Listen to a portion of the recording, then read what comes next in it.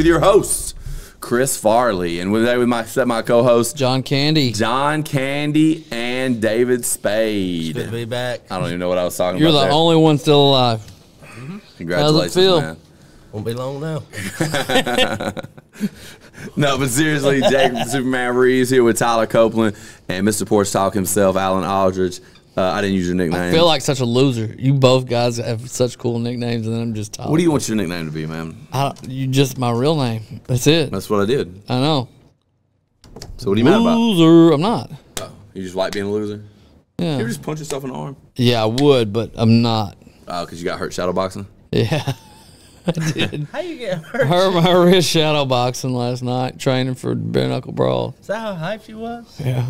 Well, last night wasn't even the fight. Spice night before last. last. Oh, I know. He just stayed hype. Yeah. He- he- who's uh who was your fighter? The coworker Who? that one. Joe Sayer? Joe Sayer? Yeah, y'all should get together and shadow box. I feel like you and Joe Sayer should fight. me and Joe Sayer. Well, if I hadn't hurt my wrist shadow boxing, we would. Do it in like a year. But now I'm injured. Six probably months. I still probably can't injured get for the next two years. Him barrel training. lives- barrel training was- lives in my Oh mind. man, that barrel training was something. He's he's a really good athlete. He's something. I could tell. Yeah, he's something for sure. He's definitely something. Without a doubt, he's something. He's special. He, he's something. He is something. I can't. Oh, that's, that's, uh, I'm trying to turn the. Uh, We're gonna watch Silver Linings Playbook. I do. Um, that's why I turned it on. I like you know this is a really good movie. It's about a boy and a girl and a playbook that I kept was waiting for this shit to get funny, and it just never did. it was a playbook stolen from the University of Michigan, I see. Oh, I remember that. Yeah. and then what it was, it was given to everybody around the Big Ten, and then Michigan's coach got suspended for Man, it. y'all been seeing like. I really don't have an opinion on this. All right. but yes, I do. Is uh, lately I've been seeing a trend of like teachers losing their jobs because they have OnlyFans. Now, where, seen that. where I draw the line is like, let's say you're married with child, or you're just with child. Like, do you not think that that's going to cause issues? Are you saying you're pregnant? Uh, yeah, I'm, that's what I'm saying. You have an issue Do, with do you not think like pregnant? you feel some kind of way like fellas at school get up one day and like they're all snickering and laughing at an image on the phone and they show you and it's your mom naked? Yeah. It's got to make you feel some kind of way. Hopefully Do you not know how many fucking kids that that happened to though? I mean, get Yeah. over it. All of them. Get the fuck over it. It's like, huh, do you I'm just know, kidding. I've never seen a naked picture of my mom. huh, son? Do you know why you're riding around in that pickup truck at the age of 16? Yeah, because my titties sold that shit. Get over it. I mean, porn stars, kids, come on. Yeah, I, I'm. I'm, I gonna, don't I'm gonna care. give you an opposing view here. I, I don't. I would rather not have the truck and just my mom not put her stuff online. I'm sure. I agree. You know. But I'm just saying. I mean, the kids who do have that. this is shit- my problem with like public school in general is because it's like all right we got we've got public school and public school really can't it's hard to enforce morality because what what version of morality is public school going to enforce? If we're really going to be fair and we're going to say okay we're going to keep a separation of church and state right? But state's going to be in charge of educating the pe- the youth. What version of morality is going to be enforced by the state is it going to be the Christian version of morality? Is it going to be Islam's version of morality? The state's version of morality? State's version. So what is that, and what's that based on? Pornhub. Well, I would say It's time for you right now. I would say the culture. Uh, So that, that's And it's we gonna, li- we go live- with the win then. we live with, in an extremely sexualized culture. So it's gonna go with Why the do you of not have time for me then? I, just, I don't have time for you right now, Tyler. For being honest, I just, you, I just, you know, like, I just, you're gonna derail me if I. it's if not I a give you- derailment if I'm being tr- truthful. You think that Pornhub is setting the standard for morality in the culture? no, I'm even- just you- saying it's part of the standard. you can't even get on Pornhub on this state. That's true. Not in Mississippi, but you can in everywhere else. But much. no, Virginia, you can't either. Can't go to the fucking Uh, Utah, in this where the state. Mormons Can't do are. shit. You well, I guess that's true now. You know, the We do reservation. a lot of shit here. We're on the coast. Can't gamble on college football in this state. Really? Really? That's why I do all my shit in the UK. Whomp 'em. Pounds. Uh, you know, I, and, but that's the problem. What version of morality is gonna gonna be? And if, if you say morality is subjective, then morality is going to be constantly changing at a rate in which you can't track it, which is what we're living with now. We live in a world where morality changes so quickly that nobody could ever uphold or abide by this new version of morality where you can't say all Well- these trigger words because that's what it is. The leftist, the, the the leftist woke movement is morality with no deity. That's what it is. It's it's state enforced morality with no deity and no and no holy book. The holy book is just whatever they say it is at that particular day. So there is no morality. There is well, there is morality, but it's there isn't. There's no standard of it. It's going to constantly change, and it has been for a while. So I'm not saying that that that every any other version's perfect, but that's the problem. And that's the problem with public schools is well now we're going to ask the government to uphold morality, but what version are we going to uphold? You know what I mean? No, and that's no, the problem. no. So if there was a private Christian school that the teacher had an OnlyFans and she got fired, I'd have no problem with it because that doesn't align with the morality being taught in the school that that has a a, a direct link to this holy book and this deity that we have a standard in which we abide by. But when you hand things over to the public school, you're kind of asking for this. You're kind of asking for, you know, what happens when somebody wants to be a professional fighter and a school teacher like Rich Franklin. If you have a if you have abhor of any any type of violence you view as sinful, well, should he get fired? I don't think so because I don't have a problem with it, but somebody will. It is it is kind of wild, like those who work in like the public sector like that, such as education, or even like if you're in like the service industry. Let's say that you're in law enforcement or a firefighter, or maybe you're a lineman from the municipality. Is like the way that you have to carry yourself within that community is it's held to a higher standard, because I believe what standard? the the populace uh, to whatever the populace thinks. So What do they like, think? That's the question. well, I mean, like in the city that I work for, like, I- and I wouldn't do it anyway because it would be stupid. But like, if you go out, like after work, like you leave work at five and you're going to the bar, you better not have your company shirt on. You better be in street clothes. Yeah, That like they'll fire you on the spot for that. really, It was like that's because they don't want you representing them out. right. Right, and, and, and you also have a, a liability issue. Like you're still in your work clothes, you knock somebody out of the bar, they get hurt. Yeah. Now all of a sudden they're suing the company, Yeah.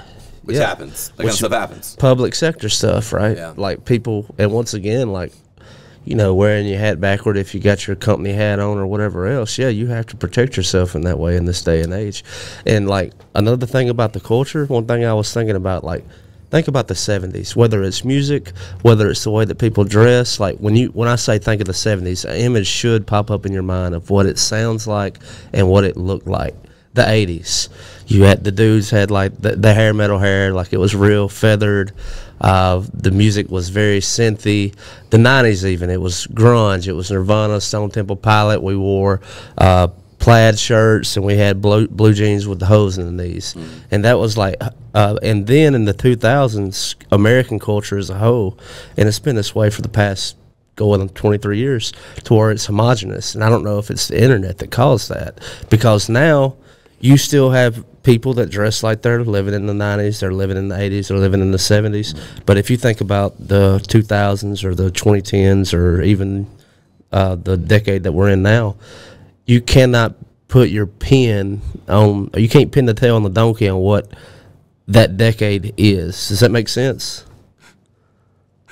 Tyler can't do these. Thinking about those pipe, those fucking pipe pipe jeans. Lee pipes. Yeah. Whatever the big, the big, huge barrel. Yeah, Lee pipes. Yeah. That's actually what I was thinking about. I Really? was trying to think about what they're. called. so what are you're saying oh, is there is no culture anymore. I, and I think the internet caused that. It's like used I don't culture. think it's a bad thing. You're saying it's used, like everything's Because used. you've got you have you have. Well, I mean, like just, we go to Hot Topic, and I mean, like your your daughter is about that age. Like you go to a Hot Topic, she'll probably pick out a Nirvana shirt. Yeah, she she wears gr- '90s grunge stuff. Yeah, that's, what she that was over thirty years ago. It's Yeah. like, why is there not anything culturally relevant to what the culture is doing now that people Well, are now it's wearing? blue hair and piercings and and and The septum rings. Yeah. beards I if mean- you're a woman. I mean, and long hair and makeup if you're a dude. yeah. That's Yeah. that is That's kind of, that's kind of what the culture is. that is the culture. It, it is a recycled 80s and 90s. We do have a very recycled. But you also in the in the 90s you saw a recycling of the 70s. You know, so It's history repeating itself yeah, like always. I, I think I don't know. I, I don't. I, I think that another thing that the internet's done, and that I kind of think is a good thing. You see it in music. uh, there's enough room for a lot of different things now. So there's not one thing that everybody's doing. Sure, like musicians are no longer like catered to like you know Sony or Warner Brothers, the big labels, and if like, well, the only way to break out and be heard would be on those labels, or how else could you get on the radio, or how else could you play it what Red Rocks or whatever venue? But the internet changed that. Yeah, it made it like love it or hate it, Napster, or even before that, LimeWire, and now we have Spotify and all these different streaming apps that literally gives someone uh, with as much street credit as me, which is absolutely zero, but I am on the same level playing field as such as a Led Zeppelin Right. at this point because you can Google my name just as easy as you can theirs. Right. Yeah. So as long as you're willing to go out there and do the work and market and get your name out there, you can. And if mm-hmm. you're not as good, you don't make it. And if people vibe with you, and and the thing, and it really gives you that thousand true fan ability, because you know they say I forget who it was said that you know you don't need to be sell millions of albums, you need a thousand true fans, a thousand fans that really love you and really follow you. That's that's how you become successful. I'm you have just- a thousand true fans. I'm just working on a hundred right now. Then I'll start working on a thousand. But like you're absolutely right. Think about it, man. Like when I started making shirts for the podcast, some of the sayings or like some of the things that was done over. And you know, I thought we were doing well if we sold 20, 25 shirts. It was like, wow, 20, 25 people got the joke or whatever else. And then I talked to bands or other people who are, you you know, their their content is themselves and they're making shirt and merchandise around that. And they was like, it's been a year and we sold eight. And I was like, and I was beating myself up over 25 Eight shirts. Yeah. Oh wow. And I was like, maybe I have a bigger following than I thought, you know? Yeah.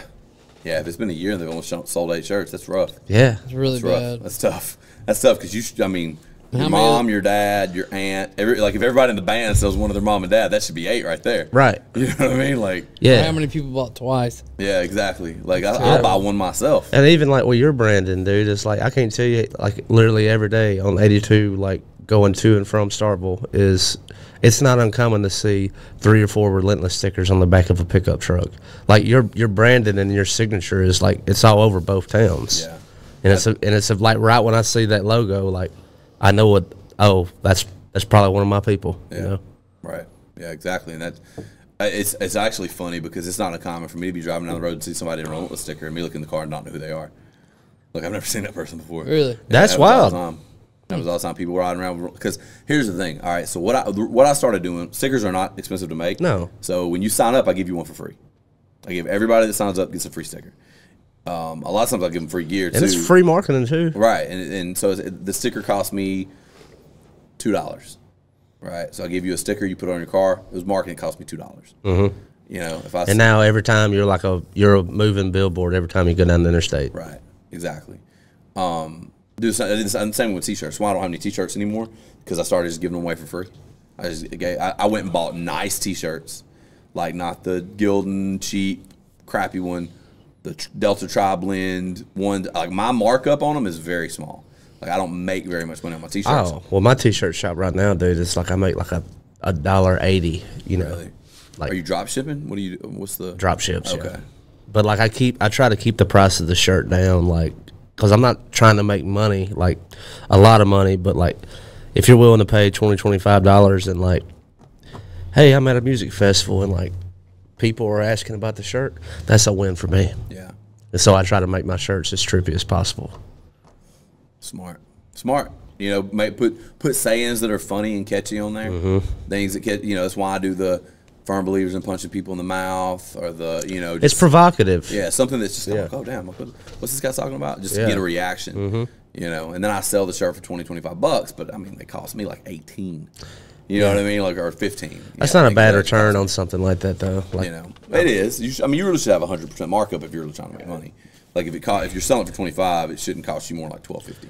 Yeah. But to me, when it comes to advertising. when it comes to branding and marketing, like it's almost I don't worth. see it as an expense. Yeah, it's like uh, the gas station, uh, like selling gas for as cheap as they can because like they're just hoping that you'll come in and shop with them. Like Right. you'll get the candy bar, or the pack of smokes, whatever else. Is that Walmart put everybody out of business with Think, ab- think about Costco. Like, what was the one thing, like, when all this inflation was going on back in 2021, when Biden Bidenomics started kicking, and there was rumor that the $1.50 Costco hot dog was going to be more than $1.50, and people were like, WTF, dude, what, what's going on? And so the CEO came out and like based as fuck, and he was like, "No, I don't care if I lose money on those hot dogs. Like, Right. that's what brings people in here because I know if they come in here and buy a dollar fifty hot dog, they about to go shop. Yeah. So f- fuck them. Yeah. You know, them them hot dogs I'll eat. Yeah. I don't care. And you know that's what, that's what a lot of big companies do. Good one. He'll eat the hot dog. Uh, I'll eat the hot dog too. good job. I've never had a dog food Costco hot dog. But It's not bad. Same. Never, never been in a Costco. Same. Well, I mean, they're not really around here. Uh, got Sam's Club, but no Costco. Yeah, the, the only one I ever was had gone through was down on the coast in Really? Mobile. Yeah, Yeah, I've never been in one. pretty one. good experience. I think I still prefer Sam's Club just because I grew up in it and I know my way around. Do you know your way around Sam's Club that well? Mm-hmm. I mean, I've been in a lot of Sam's Clubs, but it's been a long time. So And that's something else, man. Like, I mean, we, we're talking about on the last episode. Like, when you go out to eat, how easy is it when you're going out with your boy? Now, if you're not with your family, of course, you want to go to a nice place, try something new. But how easy is it to be on a four-hour drive and like you both getting a little hungry and you see that Taco Bell or that the Golden Arches of Truth that is McDonald's, be like, yeah, we about to get something that we know. Golden Arches, yeah, that's that's uh, that's that consistency of the product is Yeah. what makes them big. It's not about the, how good the product is; it's about how consistent the product is. Because people like things that they know. People like things they, they recognize. And how uh, how You all right there, frustrated Tyler? Yeah. Seem, seem like your wrist is hurting pretty It's, bad. it's huh? pretty not good. how frustrated are you It's when you go in there and you get a bad you get a bad sandwich? It kind of turns you off for a while. Yeah. And that's one thing I think you, you get a little busted up about that. It's like it's always this quality. Right. It's always the same. It's the same all the time. Uh, make it as repeatable as possible. That turnkey business model that you can scale. And it's, it's sort of like a story I was telling, and I, I tell my coaches here this. Um, something that I learned in coaching, like MMA and Jiu Jitsu, is change your techniques, don't change your class structure. Anytime you change class structure, you lose people. Um, yeah, you want to keep the We're structure. creatures that have it, right? Right. There's a story. There's a there's a uh, there's a book. Oh, what's it called? I believe it's the E Myth. I, I believe that's the book that this is in. But he talks about he uh, you need you need your drink. You want me to go make you some ice dog? I'll make you an No, ice man, pack. I'm just gonna go to the doctor. I tell you what, y'all talk for a second. I have gonna go nothing get to say because I'm really in pain, so I'm just listening. But if so I you're but if I go get you an ice pack, you won't be in as much pain. I don't know if that's true. Oh, that's You that's know, true. ibuprofen. Well, that probably won't help with swelling with I had No, some ibuprofen will help fucking swelling. Tylenol earlier and it wore off, and now I'm That's Where? Hey, that'd be that, that that'd be motherfucker right fast now. dude. Yeah. Take it with this beer, it, get it'll multiply. please do. I'm sorry, but Get you a BC and wash it down with some beer. But anyway, they were talking in this book. I believe it was the E Myth. He was saying that uh, there was a guy. He went to a barber. It was a guy that wrote the book. He went to a barber and he got the best haircut of his life. And at this haircut, he he, he had great service.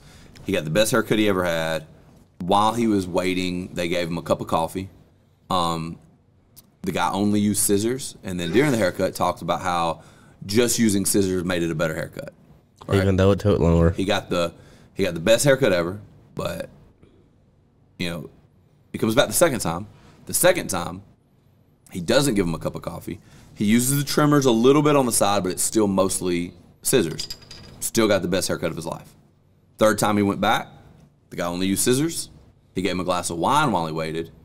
Um, only used scissors. Still got the best haircut of his life, his life, and never went back. And he says, I can't explain to you why It was I never went back. It was inconsistent. But as a human, what as I understand psychology a little bit more now, people like to feel like they're in control of their environment. Mm-hmm. That's the key. We want to feel that we're in control. We want to fear feel that we have control of the world that we're living in on a day-to-day basis. And when you're going and you're buying a product and then that product is not what you expect, even if it's great, if it's not what you expect, it kind of triggers you into being like, this is not what I expected. I'm not in control of the change around me, and it makes you less likely to keep shopping there. I learned that in, in cl- with classes. I would tr- anytime I go in and introduce new something new, mm-hmm. even if it's better than what we had before, my class numbers drop for a short period of time, Yeah. and I got to replenish them with new people. Some people are going to come back no matter what. They love you. They love the brand. They love what you're doing. So, like, what have you found in those like scenarios? Is that something that you would maybe offer on like an off day? Be like, hey, we want to try something new. We're going to try this new class. maybe- Typically, no. Typically, if I if I want to try something new, uh, if I know something's going to be long term for the better, I just go ahead and calculate in a certain amount of loss. Okay. Uh, it, it, I go ahead and calculate in. Okay, we're going to have a ten to fifteen percent drop. What about like when you stepped away from like being here full time and like you know turning it over to Mo and you have I know you got Phil and you got other guys helping out coaching, but like does the experience that the people had like do they miss you being the the, the man in here or it's like are, Well, I'm still are- here a lot. I'm still I'm still here uh, usually three nights a week at least. Uh, but it, you- you're gonna have some drop off, Yeah. for sure. Once people know that like there's a certain class that I'm not gonna be at regularly, you'll see a drop off in that class. So with MMA, we I think I've gradually left MMA to Mo more, and over time it's taken less and less of a hit. So it's the reason why, as I've come back from coaching my my kids' football team, I've not enter, put myself back in there full time still. And the reason I haven't is I know if I do, um, for one thing, I've been I haven't been away so long that that would may have a big effect. But like if I'm gone for a long time and then I come back, me coming back can cause a drop off because people are used to somebody else. Uh, the other thing is I don't want to train people into thinking I have to be here all the time. And so I'm purposefully like, okay, I'm willing to take a little bit of a hit to train people like, okay, I don't have to be here five nights a week. You know, I can be here three nights a week and we still have good product. And the thing is, man, like like with what we do, you don't need me. A lot of these purple belts, even some of these blue belts, can Yeah. teach other white belts just as good as I can. yeah You know, they, they may not have every detail that I'm teaching, but that, a lot of these white belts don't need every detail that I'm teaching. You know, they just need broad strokes to start with, and then and then clean it up a little bit at a time. Uh, some of them do, but you know, wh- what I found is, and, and I'm I'm still experimenting with this, and you- you're definitely gonna have some haters that are gonna be mad that you're not there all the time. Oh, like when I signed up, and I, I signed up to train with you, but the oh they the come at it like that from time to not time not to me to my face, but uh, definitely behind my back. I could kind of see that, man. I mean, maybe if we lived down on Biloxi, I mean, and you had the opportunity to be in Belcher's gym, like you, his name probably. That was a big thing. That's where I heard it the first time. You know? was because you know Belcher. You know, I wanna built be- a gym empire at one time. I want to be in the same room as Right. him, you know. built this huge empire, but Belcher didn't teach that much. Mike Sanford was the one teaching. You had James Sharp teaching. You had, and then he had four locations. Well, he obviously can't be at four locations teaching. Yeah. you know. So you got four Kind of locations. fooling yourself at this point. All right, if you think he's going to be there all the time, but I remember when he he came up, he was the most expensive in town, just like me. I'm the most expensive in town. He was the most expensive in town, and then I remember a lot of people saying like, "Oh man, it's so expensive," and uh, he's not even there. You're training with his coaches, and it's like, well, of course you are, bro. Like unless What did you think, right, and he's and he was currently fighting in the UFC, dude? That's like going to Nashville and going to like Blake Shelton's bar right, and and going to expecting. Aldean's and expecting to sit next to Jason Aldean. Yeah, yeah, yeah. or Blake Shell, like yeah, you're saying. yeah. like, or either, you, either way, yeah. It's like what what, are you thinking? You think he's gonna be the guy playing there every night? Right. No. Yeah. it, but that being said, you also do have a certain level of um, coaching that I think needs to be brought every night. Like there's a certain level of technique, there's a certain level of understanding of jujitsu that needs to be there on a regular basis. And what I found too is um, letting your students coach actually helps with the retention because you're going to get to a certain point. You're going to have a lot of people, especially your people that aren't fighters and competitors. They need a next step. They need a next step. And if you're not a fighter and and a competitor, what's your next step? Coach. You want to coach. You want to teach. It's the only. It's the only logical next step. If you're not a, an athlete, you want to coach. So you have people that. This if is- I don't, if I don't let them do that Is- and let them it- have that that experience of like, damn, Tyler's hurting. He's he's over to the side. He ain't coming back home. Uh, if I don't let them have that experience, I'm robbing them because I want it all for myself. I want to be the guy. Yeah. I want to be the guy that gets patted on the. Oh, you're such a good coach, coach. Oh, thank you so much. If I don't let anybody else have that, I'm robbing them of that experience. I'm not. I'm not throwing any shade at like uh, any coach or or maybe I am at some teachers, but like I've always heard it, like those who can't do coach and those who can't do anything else will teach. Yeah. And but like, and I'm not throwing shade because I think it's like what you said. There is nothing wrong coming in here and like honing BJJ and like you know you're a blue, purple belt, brown belt, black belt. It's like, well, I'm not trying to be in the UFC, but I will, I will, I will pass this knowledge on. So let me tell you why that's true and why that's okay. Those that can't do coach. hundred percent true. Oh, I'm not saying true. it to be- No, it's true, and I'm going to tell you why it's true and why it's okay that it's true. All right. I think the best example of this is Rick Roufus and Duke Roufus. Right? You know who Rick Roufus is? No, tell me. Rick Roufus was very likely the greatest kickboxer They that brothers? ever lived. They are brothers, Their dad's fucking hilarious. and so uh, Dick and Rick. Rick and Rick and Duke. Oh. Duke and Rick. Yeah. So Rick Roufus was very likely the best full contact kickboxer, like back in the '80s, that ever lived. He was amazing. He killed everybody. Matter of fact, he fought Oliver Miller uh, here in town. They fought on ESPN at one time, uh, to a three round decision. Uh, he also fought. There was a famous fight with him and a Muay Thai fighter from Thailand, in which he lost from, due to TKO by leg kicks and uh, but it was like the best kickboxer versus a Thai guy, and the Thai guy won uh, in a mixed rules bout. So then you had Duke. Duke was not Rick. Duke was never close to Rick. Duke did Muay Thai. He did. He started doing Muay Thai after Rick lost. He's like, okay, there's definitely something to be learned here. Duke was not the athlete Rick was. Duke was never even close he, to the athlete. but Rick was technical. but he was super technical and the reason he was so technical was because he had to be he everything had to be perfect for him to even compete so when you have somebody who's a super athlete that can do they don't really understand the technique in the same way that the really really technical less athletic fighter is because the really really athletic fighter he doesn't have to be perfect he can do it mostly right and get the knockout the super technical fighter he's not getting the knockout no matter what everything's got to be perfect or he's going to get knocked out so a lot of times those fighters will go through their whole career. At the end of the career, this guy might be, let's say he's 50 and 2, 50 and 0, whatever. This guy's 20 and 15. Mm-hmm. This guy is 10 times the coach of the undefeated guy. And then you see people like Duke Roufus who go on to become one of the best coaches in the world. He started Roufusport. He was Alan's coach. He was Anthony Pettis' coach. He was uh, CM Punk's coach, ironically. He was a lot of big names in the sport. Yeah. He was their coach, not Rick. Not Rick. Rick didn't have that gift. Duke had that gift because Duke didn't have the, the athleticism to go in there and be the best fighter, Yeah. but because he had to be absolutely perfect with everything he did in order to even compete, he knew how to take these other people who were more athletic than him and teach them to be perfect. And now you've got the super athletes who are fighting and, and have the coach who's teaching them to be perfect. Mm-hmm.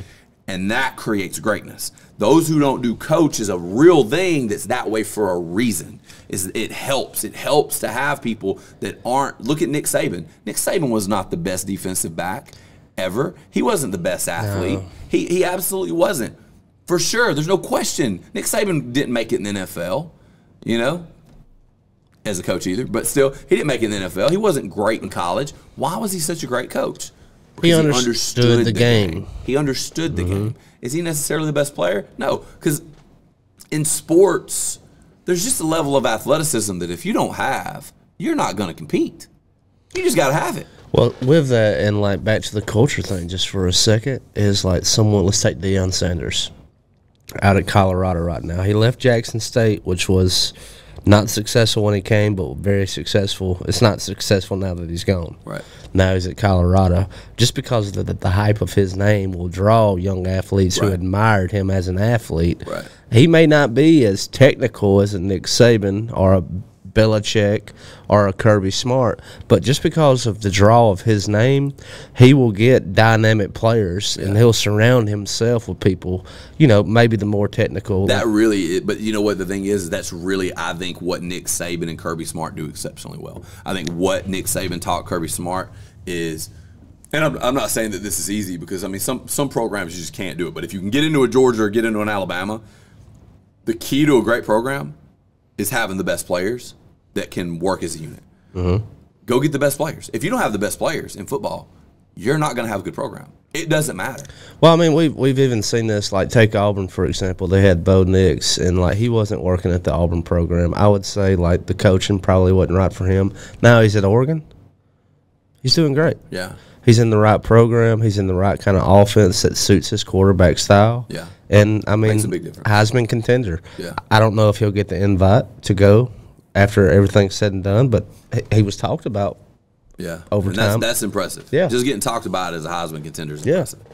You know, So I, I, I don't know. I think, but I do think that. But, uh, I don't get offended because I'm a coach. Yeah, Right. like people talk about those that can't do coach, and I'm a coach. I'm a way better coach than I was. Well, I think I see like you more of like you're more of in a transitioning period, and I may be wrong with this, but dude, I mean your body's getting older, yeah, and I've been so in like transition period for like six years. yeah, but like you're transitioning like more into like the athleticism. You're still very athletic, but the Not for the next level. the, the yeah, and but the technical aspect of you is like beginning to trump the athleticism. Yeah, uh, I- that's been in transition for a while.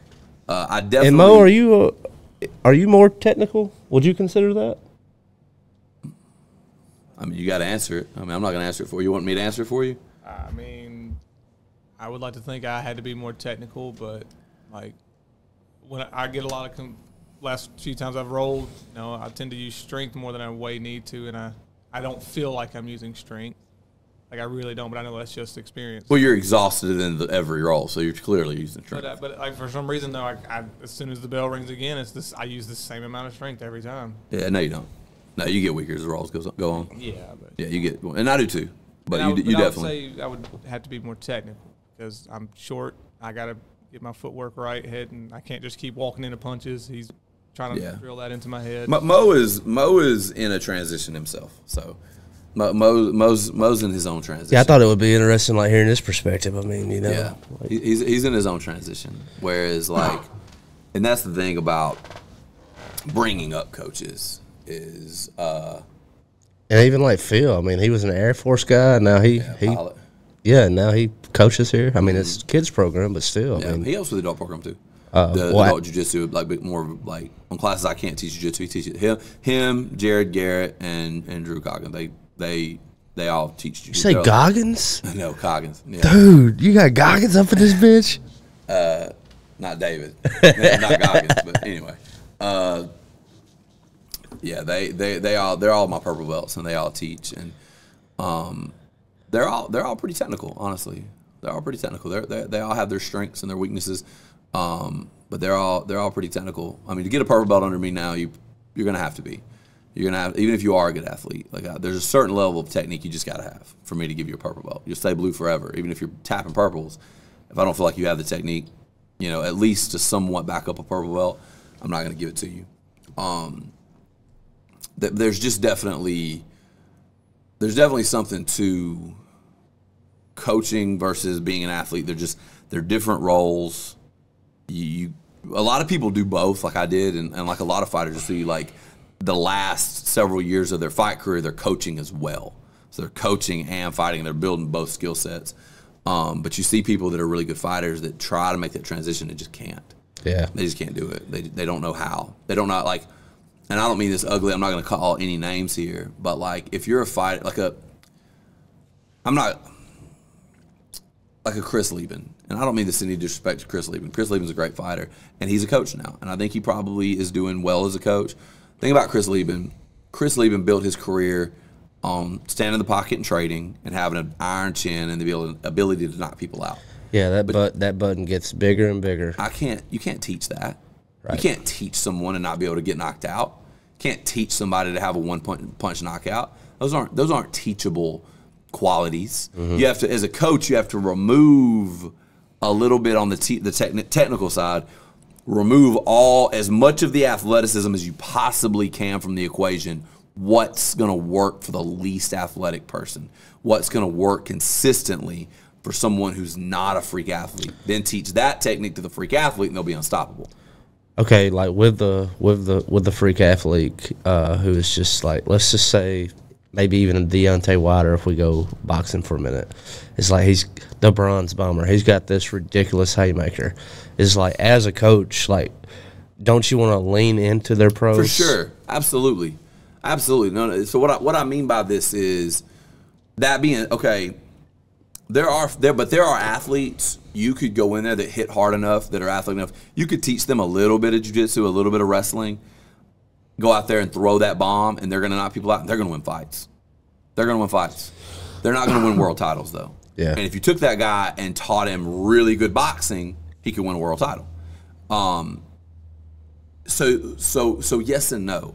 Lean into the strengths for sure, and I think that's something a lot of coaches don't do well.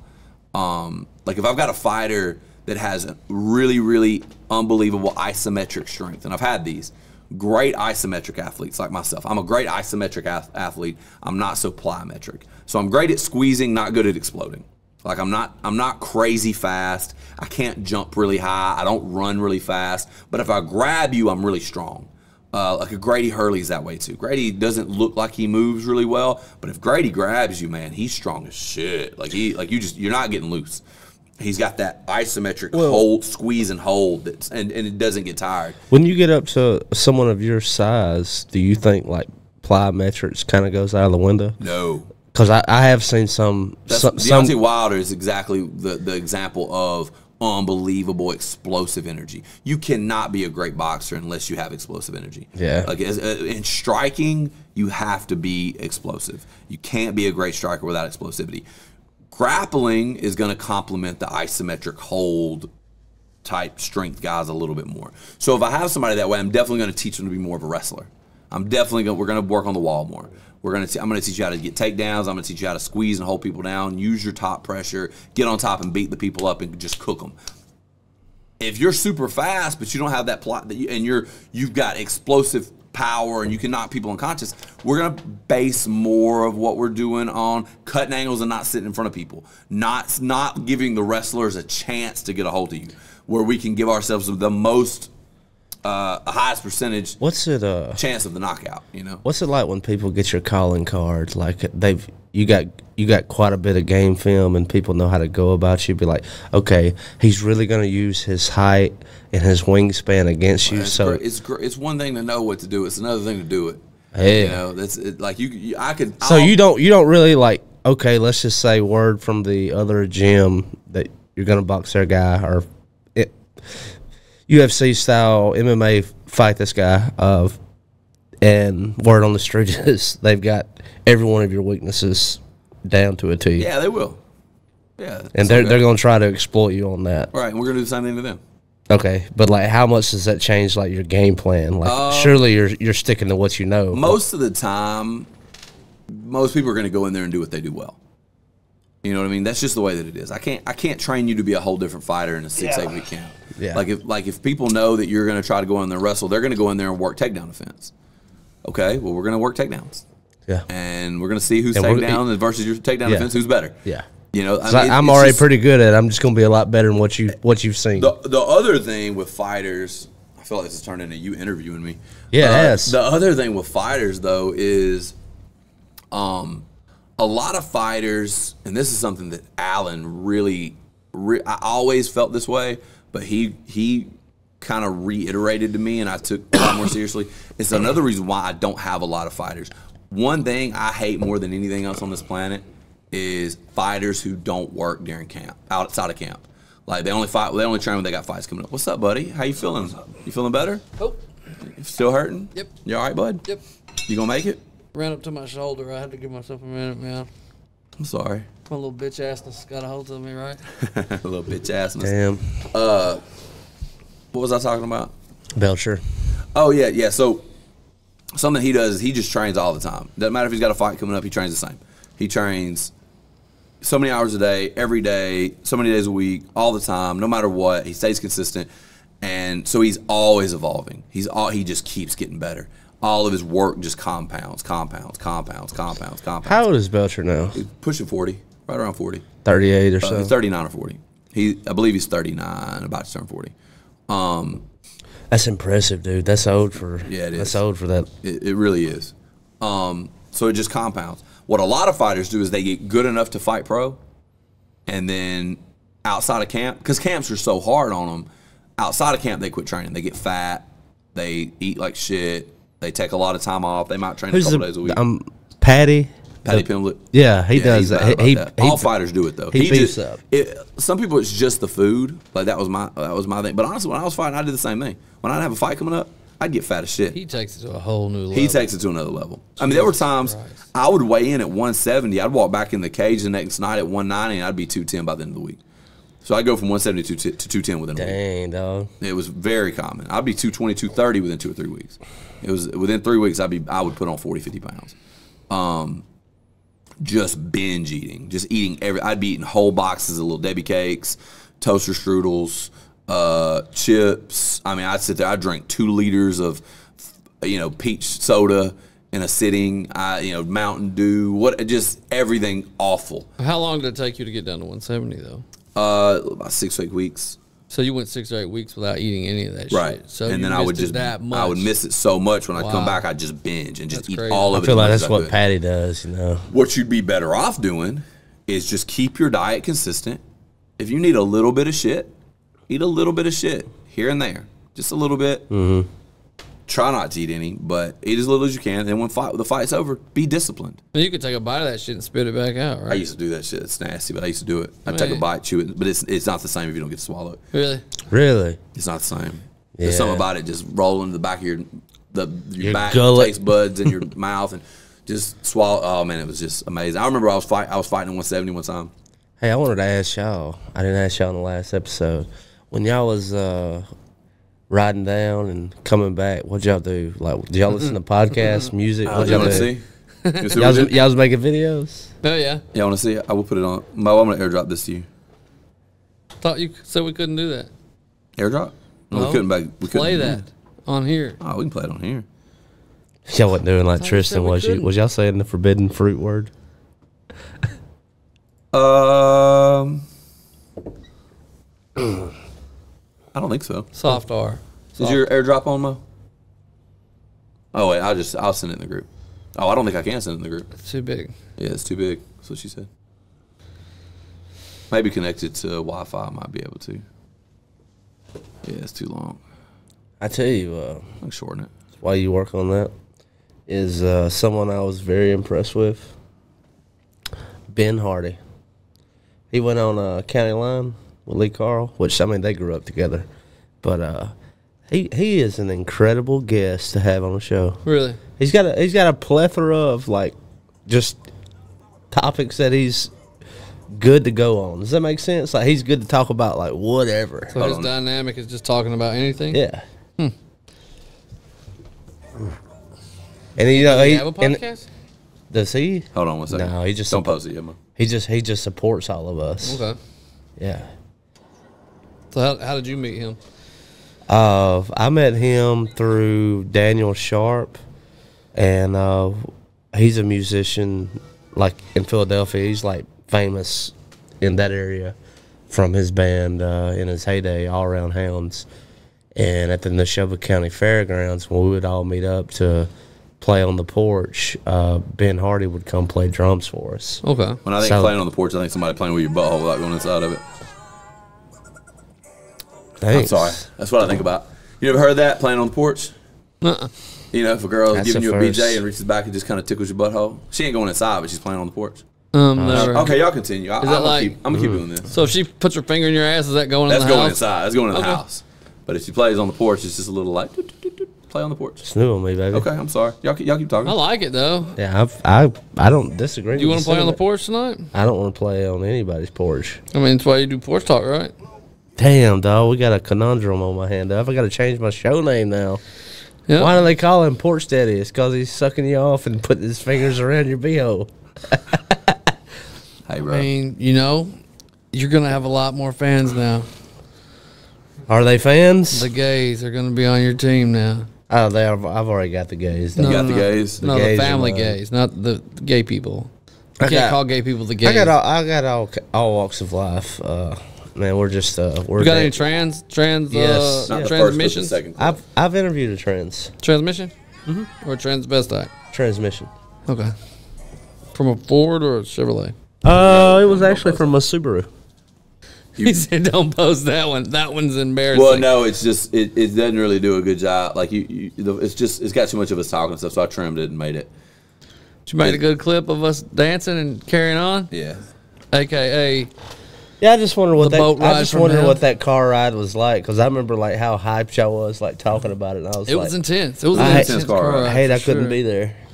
Like that was All right, it should probably be sending now. that probably was the funnest car ride I've had. That's what I think, dude. In I a think I, I think a man up like all all four of us. I was trying to get y'all get ready. I go know, I know. man. I, I had to fucking work and everything. And to be else, fair, dude. like it wasn't just it wasn't just ten minutes of fun.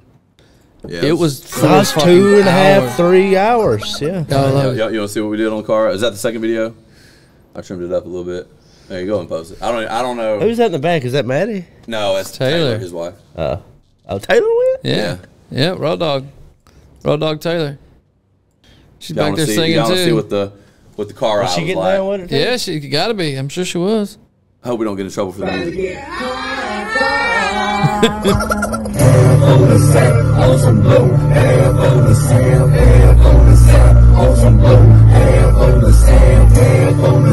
Big ass head, bro. Yeah, see my head next to your head. That's a big ass head. Man, we are too drunk. She's back there getting. Look at that finger out. I feel like she's back there rolling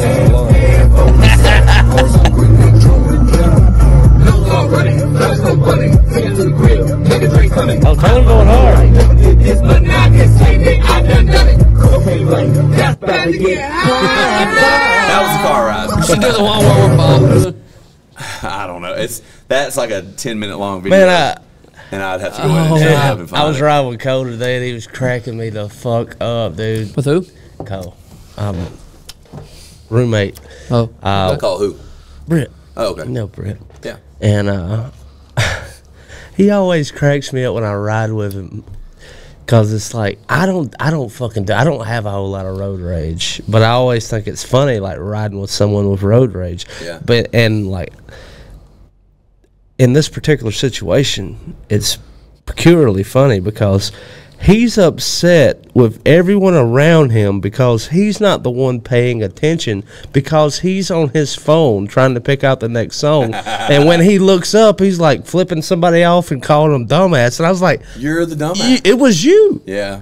And like after like two times of that, Sounds like in a friend. in a Yeah, we got in a something like in a thirty minute ride, just on eighty two, and like after the third one, I was like, you know that guy you flipping off right now currently? Yeah, F- fuck that guy. And I was like, you're actually in the wrong. You know what I do?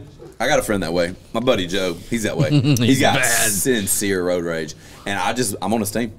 Hype him up. I'm on his team, bro. And like I'm, I'm like unlocking the glove box and pulling the gun out, just Like- getting ready. Like Joe get mad, and I'm like, yeah, bro. He'll be like, man, fuck you. I'm like, yeah, fuck. I just say, uh, I'm like, yeah, fuck him.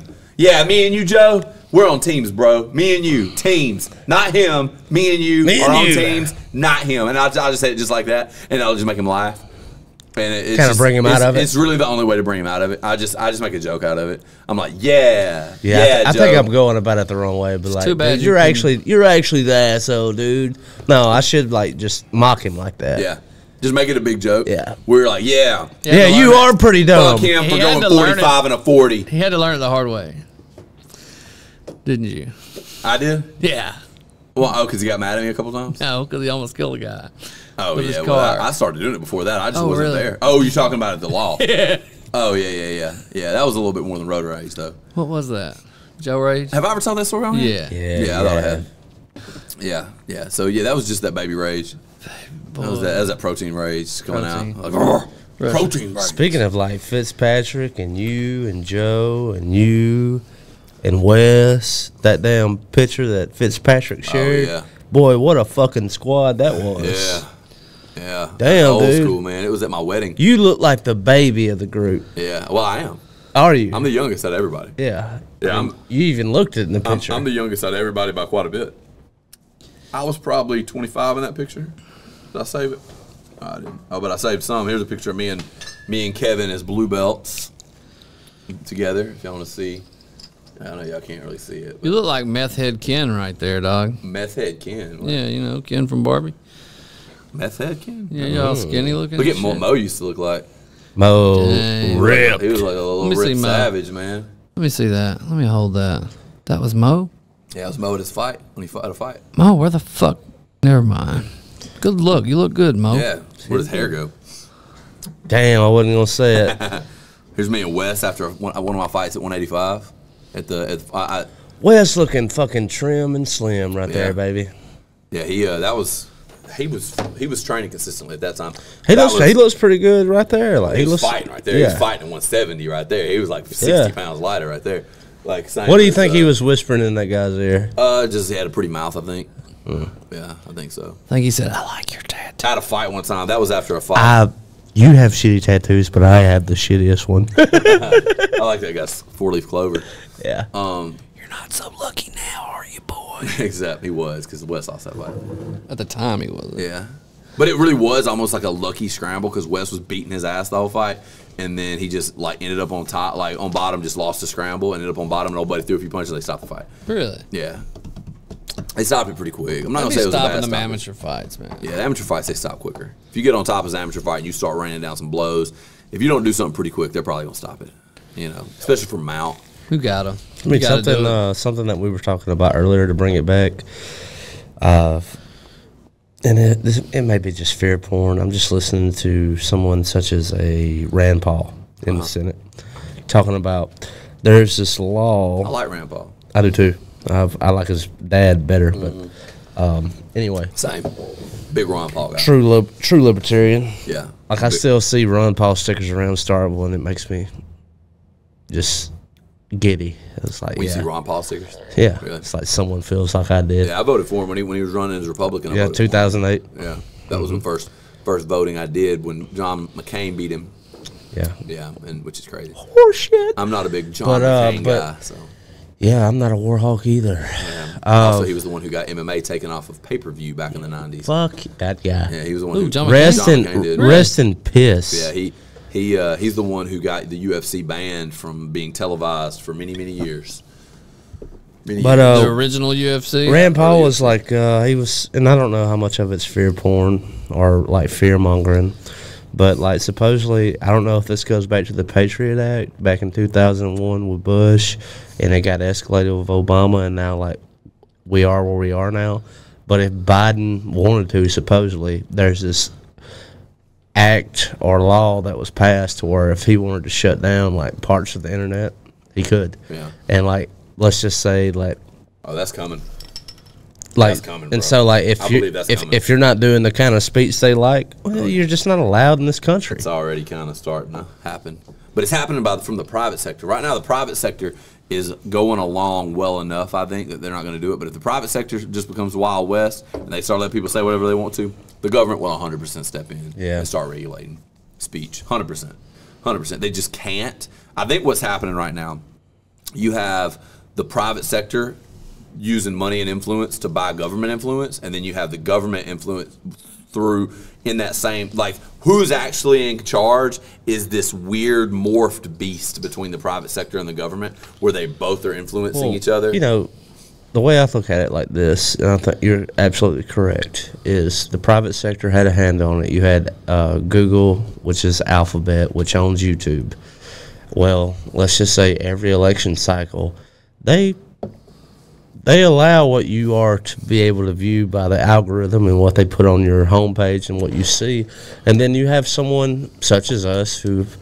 Uh, should be back monetize YouTube because, like, I think we're doing. Technically, they didn't get rid of our monetization; they just demonetize every video, Yeah, like individually. So Yeah. our account is monetized. We make and like six so dollars. and then someone like us mo- begins Ballin'. to move to rumble well and that's where like now instead of twitch you have kick and you have these people who are willing to invest in building a new way of doing things when the other side breaks but that's the kicker is that's when uh, big daddy government gets involved and be like if you can't get it together privately i'm just going to punish everybody Yeah. you know Yeah, it's a matter of time. It's a matter of time. We're headed toward a one world government. I think that's gonna that's gonna because that's the only way they're gonna be able to do it. Really, i don't know if they can succeed on that they're gonna have to. But I, I, I think they're too stupid, Jake. Nah, I don't. I think I think the moment that we find if there's aliens or not, the moment everybody even believes that there's aliens, one world government's going to be a must. It's going to happen. We need. We're going to have to have a unified voice in the universe. Then we'll have that. Uh, I'm so doing my if- part from Starship a- Commander or whatever. Yeah, even if there's not a, even if the aliens aren't real. I mean, if they want, all, that's all they have to do to to I've get to a one waiting world on government them is aliens. Make us if, believe it. if they if they if we believe there's aliens. I think there are aliens, but yeah, they're called demons. I don't believe that. But okay, I mean that's fine. I'm not saying Interdi- you're I wrong. believe in interdimensional things. Okay. Uh, I mean, like if you go on a psychedelic trip, you you can step into those dimensions. I don't believe in like uh, motherfuckers living on Saturn. Are you telling me like there are multiple universes and like there there's possibilities of aliens from those universes? Well, as a Christian, that kind of demoralizes and di- and diminishes how big my God is. No, I think it, I think you're diminishing how big God is. You don't believe that God can be the master of multiple universes? I don't think I think I think God loves this universe so much it's the only one. Why? That is so humanistic and and ideal. Like that that puts that puts us on such a pedestal to God. Yes, you're does. making God small to me there. Like you're you're you're saying that God loves this universe so much he couldn't have That he sent his that- son, dog. That's like saying though that God Maybe he loves- sent his son to those universes too, though. Maybe maybe he didn't need to. Maybe every universe is another version of No, reality. we, we all need a devil, dude. There's all there, if there's if like for reality for existence to be here, That- I- you you have to have that worldview the puts God in you have to have the culture. You have For- to evil good. You have to have that, Jake. The, the difference between me and you is this: you believe that God's love for us means He can't love something else. You believe that um, you believe that God is so small that He only is capable of a single singular universe. That He's limited by evil. That evil is a must because God is good. There must be a devil and that the same rules of the universe and other universes have to apply to this universe. For God to be truly infinite, he couldn't like for you to for you to in any way wrap your head around God, for you to believe that you understand God and his love so much that he could only love this one group in this one place in this one universe puts him into a box so that you can understand him.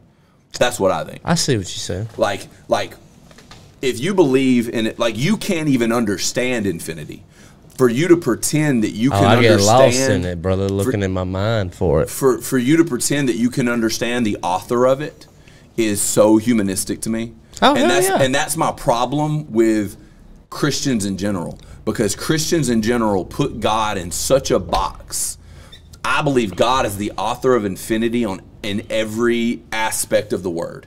So when you talk about uh, an infinite being that's so infinite, not only is he infinite, he's the author of infinity. Well, like to tell you this is like I, I don't I do not disagree. Like, and I've I have been working on like my view of that, and to broaden out my scope for just how big I believe that God is, could be, and is, or however you want to put it.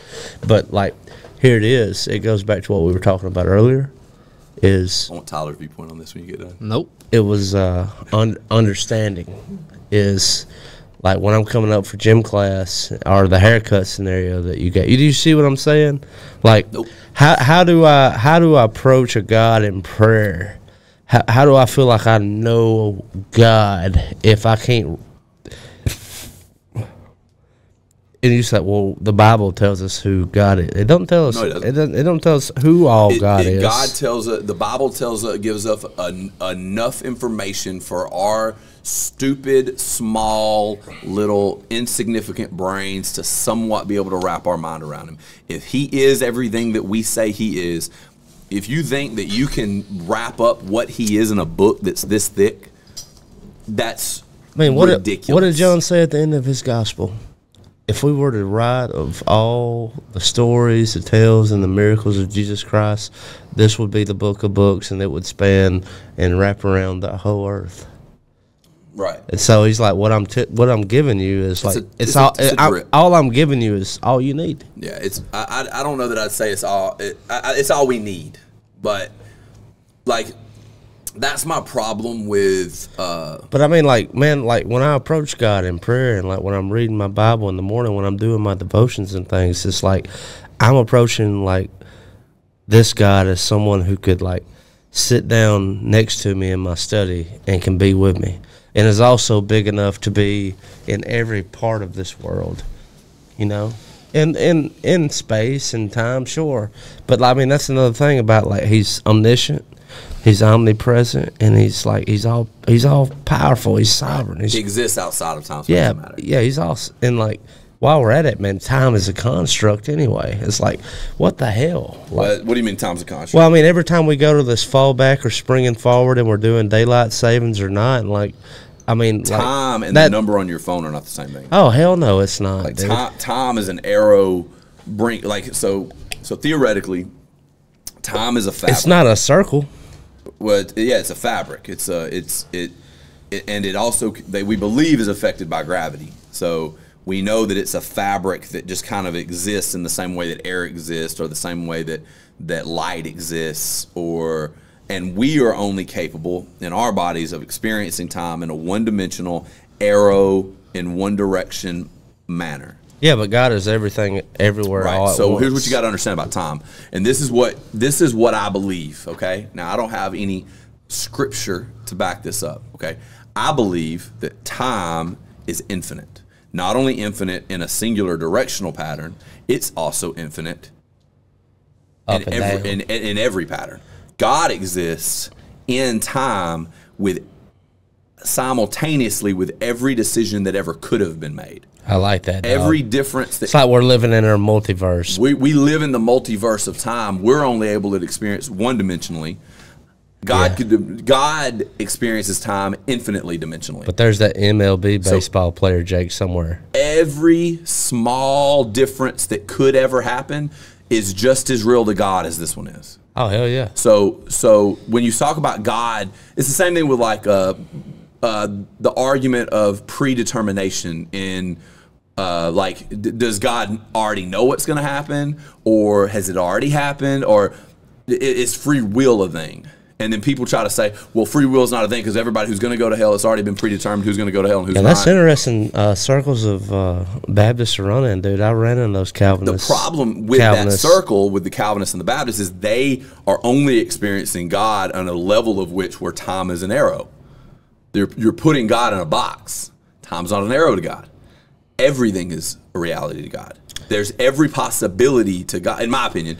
Everything Okay. that could have happened did happen, and He's experiencing it all simultaneous- Well, if, simultaneously. if we take a more Penteco- Pentecostal approach, like in style of worship, whether it be through speaking in tongue or doing dancing, or let's say like uh, we wanted to drink some strychnine, battery acid, and handle serpents, like how far do we push this envelope? well, I think again, I think that we do. I think, And I know, ask- I, and I know I'm elevating it. Right, and and I was raised Pentecostal. So when you look at, okay, do we have free will? Is everything predetermined? This is my answer to it. Yes, both.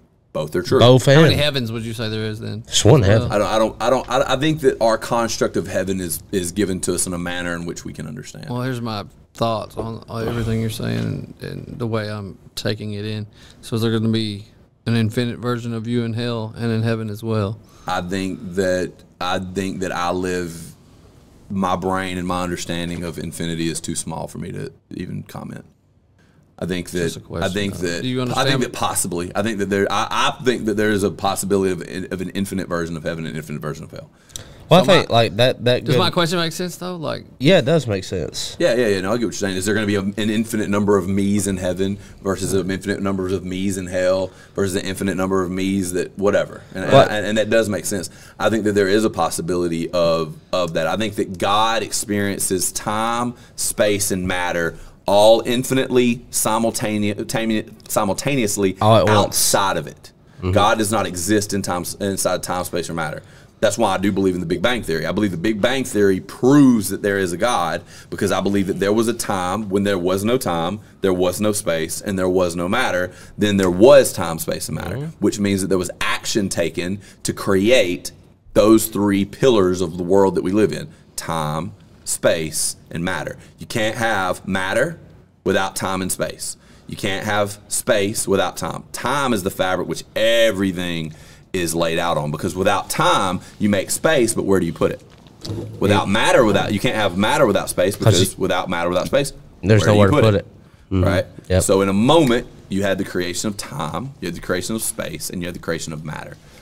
And I believe that what I believe God is is the being that exists outside of time, space, and matter. Is not limited by time, space, and matter. But I also like, uh, when it comes to like free will or predetermination or predestination, however you want to put it, Yeah, is like predestination. Think that's the right way to say it. predestination it absolutely is is like i do not see god as like someone let's say as looking at the world as if it is some kind of a board game and he is like arranging the pieces and moving everything if if that were the case well i would believe like there is no free will and that there is there's only one And way that your John, life we know that that's not true. yeah and Because John said, I believe it was in John said that it's God's will for everyone to go to heaven. yeah If it's God's will for everyone to go to heaven, but not everybody goes to heaven, that And he- means that we operate outside and of it's all, will. and we know it's God's will for everyone to go to heaven because God made the way for everybody. Yeah, and but and then also said in the Bible that it's His will for everyone to go to heaven. Yeah. it's His will for no one to ever go to hell. And so like I don't I don't see God as like someone like over the monopoly table and like calling all the shots. I think like like we're all like you said he's he's outside space time and matter and like you know hell it's a miracle I wasn't aborted, you know, or whatever else. So it, it's a miracle I survived seven car crashes. It's you know, and like I'm still fucking here, and we're on this trajectory. So like, where do we go from here? What do you think about it, Tyler? I don't. You don't think about it. You really just don't have these thoughts at all. You never wonder about time. It's like the first. no, because there's no here. like, there's no answer. I'll never get an answer until I'm dead. yeah, but is there not is there not value in wondering? No, Value in thinking about it? not certain things. No. I mean, if, especially if especially if you're pondering and meditating on God or time and the w- reasons we're here and That's one thing. Why Like I'm I here. Spend a lot. that's the unfair advantage I get to not being able to do drugs. Like, there's a lot of things I don't care about or think about. I, did, I thought about this stuff way before I ever did drugs. Just saying, like, you I don't probably think it's a drug-related thing, dude. Ponder on it a lot more when you're in a For sure. meditative state versus me, which I'm never really. And I also like think this is like I mean you're living in Mississippi now, and like I'm from Alabama. I grew up in Alabama, but uh, Twin State. I do agree with that notion. But like one thing that I'll say about growing up here was we might have not have had the nicest things, and we might have not had had the the fastest internet. We may have not have had, um, you know, all the the best sport teams in college. Yeah, and that's why we care so much about it. But like we had to make our own fun and like i believe our imaginations and our creativity is a lot higher. I think that's why mississippi uh, creates more stars musically or even in the movies than any other state per capita. Yeah, it does. because like we create we have to create our own fun because like there's nothing else here for you to do. You have you have to. Yeah. or you can be a complete piece of shit yeah And a lot of you do. It's hard to be a complete piece of shit when there's nothing to do though. yeah Like it's easy to be a complete piece of shit when you've got a video game system and you got cable or TV and you've got hot pockets and you know. But if you hard to be a piece of shit when it's like okay, you can sit in this hot house. With I no finally AC, figured out what do, I finally figured out what incel stands for. You know when people call someone an incel, All right. involuntarily celibate. Huh. Okay. That's what incel means. Involuntary. That is like the worst cut down you could cause. You are a pretty rough. you're an incel. Like you want to have sex, but you can't. yeah, Yeah. you you would be, but you're not Sucks. capable. Yeah. That sucks. Where to do that at? A lot of people. I was. I heard a statistic earlier on a podcast that absolutely cannot be true. What? He was saying that 26 to 31 percent of men between the ages of 18 to 30 have zero sexual partners. I Do what? that probably Between 26 and 31 percent of that probably ain't far off, uh, dude. men between between 26 and 30 years old, on average, 26 and 26 to 31 percent of 18 to 30 year olds. I'm sorry, That probably ain't far off. have zero sexual partners. That's in So virgin till you're 30. yeah. Or maybe you had sex before 18. Well, I they mean- just- they didn't study before 18. Well, think about this. I was, and we've talked about it in the past, but of man, how quick is porn introduced to young men now? Like, I, Yeah. you're, you're probably eight, nine years old the first time you're That's crazy. you're you're exposed to porn, and like we know what that does to the to the brain, and so it wouldn't be uncommon for me We for like, we know what it does to the brain. oh, we've we've got a pretty. good It makes fucking psychopaths. I don't think it makes psychopaths now. I think it like a lot of those true crime motherfuckers. Think about your Jeffrey Dahmers and uh, Ah, And, and a lot of the Porn's not making a psychopath now. fucking It's bad for the Mm. brain, but a psychopath is someone incapable of feeling empathy. Watching pornography does not make you incapable of feeling empathy. I, I it makes it harder and harder for you to get off. you can't have a sexual connection. I don't know if I agree with that either. I don't know if I agree with that. I think that it. I think that it definitely makes you push the boundary of what I don't- type of sexual depravity. I don't think we should have off. it. Like going back to the OnlyFans thing, going back to the porno. I do not think that porn is is fucking necessary. I'm not saying it's necessary. The argument that I'm having with you right now is: Does it create psycho- psy- psychopathy? Does it create psychopathic behavior? To my knowledge, Why- there is zero correlation between Okay, with, psychopathic with behavior. a lot of these school shooters, I think we could go back on the internet history and probably say that they watched a lot of fucking I pornography. could, we could also Because- go to a lot of people that failed tests and see a lot of porn. You can Listen, go back on but a lot of Jake. single men and married men and see a lot of porn. Jake, but yeah, for the most part, dude. Everybody's watching I porn. don't know how to argue this one. I've watched a shit ton of porn. and I've got laid a shit ton of times, and I've not killed anybody. Right, that's what I'm saying, bro. I don't Like, know, like there, there's no. Yeah, like, You're saying you think that you could go back on these guys' uh, search history and see porn. I'm not saying that you could. Maybe they're not watching the kind of porn you are, is what I'm Okay, saying. so- Maybe they've leveled up. Right, but what what level of what level of pornography are we talking about? How much porn, porn, do you have to watch? So you're watching mur- murder porn, or is it just that people who are psychopaths? Because psychopath is a brain disorder. We know happens at birth. It happens if you're a psychopath. You're just a psychopath. There's nothing you can do to not be a psychopath. You just are a psychopath. That doesn't mean you're going to kill people. Doesn't mean you're going to do fucked up shit. It just means you are a psychopath. And to say that you think that pornography is what's creating that psy- I psychopathy, think I think it's part of it. I I mean, do you haven't I- So based birth on what defect? though? It's a birthday. Right. It's just it's a it's it, psychopathy. I is have a, been doing true crime studies now for two mm-hmm. years. You watching shit on true crime TV. No, fuck no.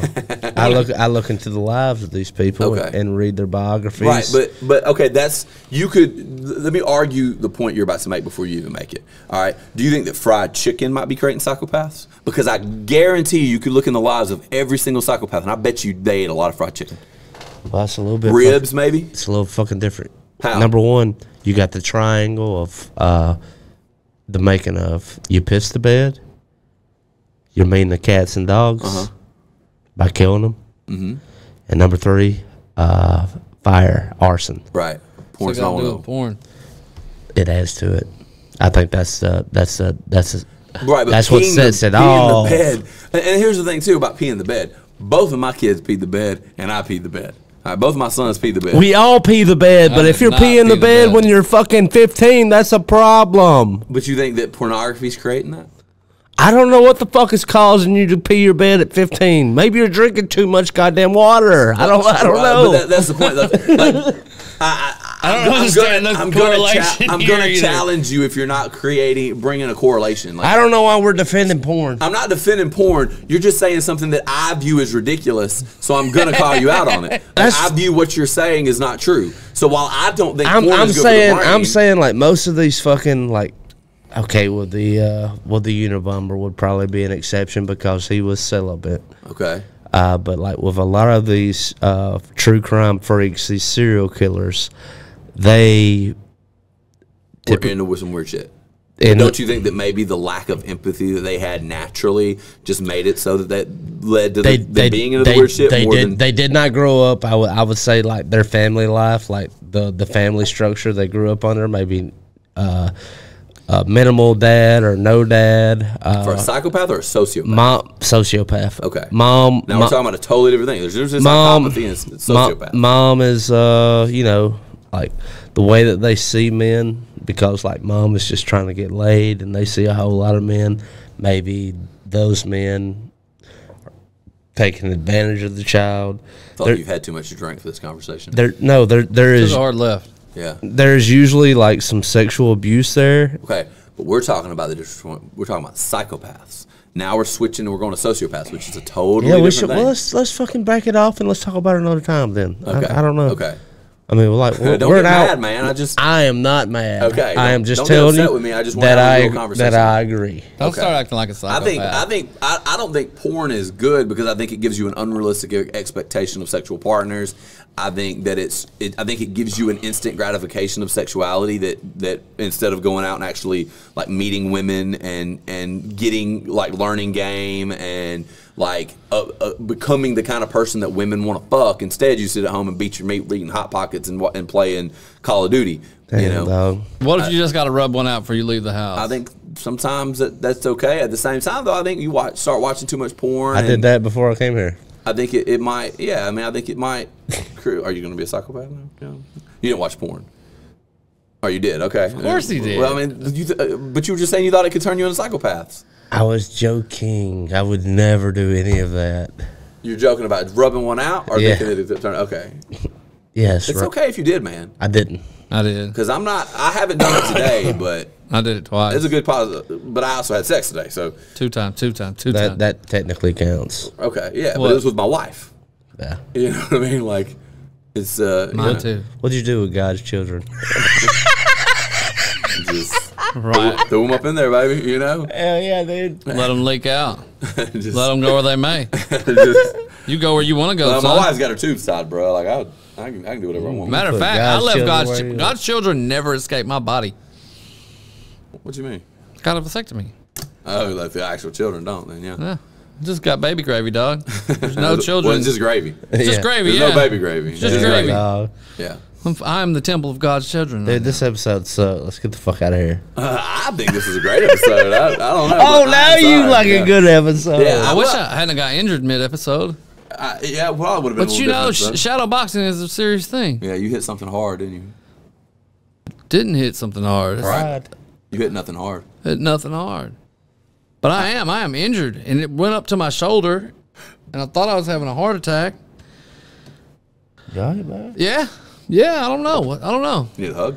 Maybe I don't know. Well, guys, I'm sorry uh, about this episode. it was bad. you It was think great. bad? no, it was good. It was good. I, I, I enjoyed what I was watching over there. It, the- it in the definitely had a lot sideline. of depth. It changed. We changed. definitely went a lot. I of different interviewed you tonight. Yeah, you did, and then it, we then we had a little bit. I of like doing that to you every now and then. Yeah, I don't mind it. I don't mind. I didn't push back on you. Like we're we're, we're gonna do some more pushback. Yeah, give me a little pushback. You can give it to me now if you want to. You shock topped him a little too hard today. Shock didn't you? you a little too hard. Yeah, I don't mind a little pushback. I don't mind a little pushback. And the thing is, if I if I have an opinion that I can't defend, I want you to push back on me oh. because I need to know that. And I absolutely have opinions I can't defend. We'll we'll bring some of these subjects up again, but like you said, I, I think like I would like to come a little bit more sober. Yeah, Just you rewatch definitely- rewatch this whole episode, and both of you guys can just. Do, I'm not gonna Argue. make notes. I'll just come more sober next time. I'll watch Yeah. it. No, I, I, I think that I think that you know maybe having this conversation a little earlier in the episode. Before you've had that much alcohol. Yeah, 'Cause well- I could tell you weren't on your P's and Q's, weren't ready, really ready to have the conversation. well, I figured it would be light, and we kind of went heavy. Oh, yeah, right. Yeah, I figured it would be something that we would get into and get off, right. but we kind of we kind of lingered. Kind of lingered. I mean, you you just don't just don't come in here attacking my favorite thing. Okay. Favorite thing is porn. That's probably not good. Yeah. Okay, but it's you though. It's Love got nothing to do with me. Love it, man. Thank you guys so much for being on this episode. We're sorry. Uh, we'll we'll uh, we'll. Well, I'll tell you somebody who it ain't Tristan, and I, you didn't get your Wednesday episode two weeks in a row, so eat my ass, buddy. Yeah. You're gonna have it now. That's Yeah. right. That's right. Anyway, guys, thank y'all so much for being on this episode. We'll see y'all on the next one. Make sure to go check out our socials. Check out the Man Up Podcast on YouTube, uh, uh, Spotify, Apple Podcasts, or wherever you get your podcasts. Also follow the Mississippi Superman. The Man Up Podcast is on that that that you know channel on YouTube, but also check check me out on Instagram, Facebook, uh, and uh, TikTok. We'll see y'all What about next the episode. Mississippi mean?